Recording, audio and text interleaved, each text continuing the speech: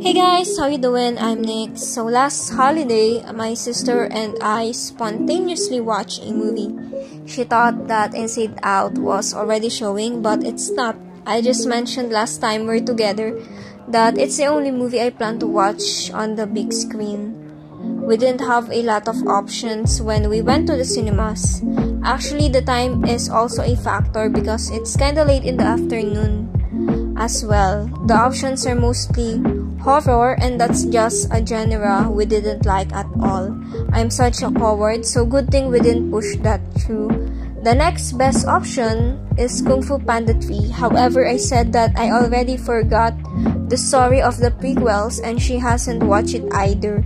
So we didn't choose that also because the time it's showing has passed too. So our final choice became YOLO, a Chinese movie that we're still hesitant to watch because it would be the first time that we're gonna watch a non-Western international movie with subtitles. But I'm so glad that we ended up watching this because it's a film that is so worthwhile.